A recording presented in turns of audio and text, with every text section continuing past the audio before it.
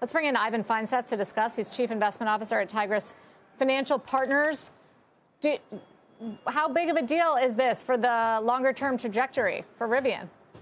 Long term, I don't think it's that big a deal. And if you want to say uh, every opportunity, every problem is an opportunity, this gives Rivian the opportunity to demonstrate their cus- their customer service and their ability to handle mechanical issues that do happen. And so far, this is the first reported significant issue since the car has been in production, and they have produced and sold almost 14,000 cars. So you you see this as a normal problem, recalling all of their vehicles that they sold? Well, we have seen significantly larger recalls from almost every other automaker.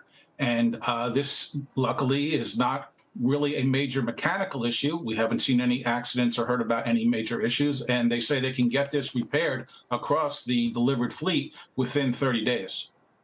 Yeah, I mean, I, I guess it doesn't help the brand and the credibility issues. So you're a buyer of the stock on this weakness Absolutely. today. I mean, this is a long term play. First, I believe we are going to see more happen in the auto industry in the next three years than took place in the entire 120 year combined of the auto industry. We're going to see this major shift of introduction of electric vehicles and incredible technology all of these automakers, including Rivian, are evolving mm. software companies. It's all about connectivity, about the ability to manage, maintain, and build the relationship with the customer through connectivity and constant upgrades of features in the cars. So there's going to be a big shift as you know, GM has over 30 electric vehicles coming to market by 2025.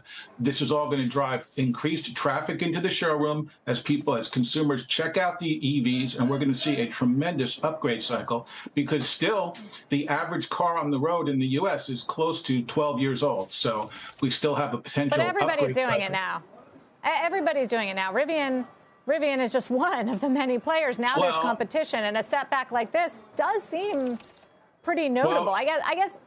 My, my, well, I'll let you respond, Ivan, but also tell me, does it impact the 2022 deliveries at all?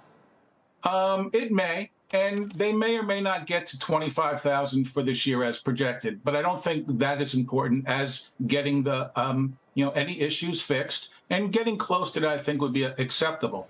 But first of all, the more electric vehicles that are on the market, the more electric vehicles the industry will sell. The competition for electric vehicles is not electric vehicles, it's gas cars.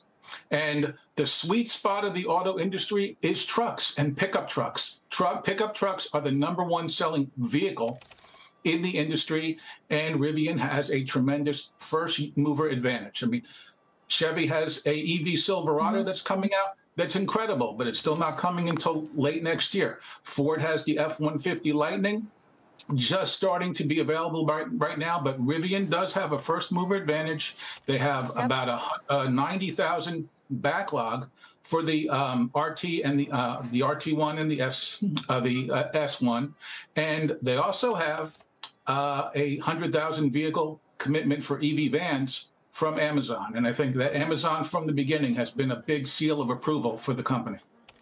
Agree with that. For sure, the Bulls like that fact. Ivan, thank you. Ivan Feinseth from Tigress.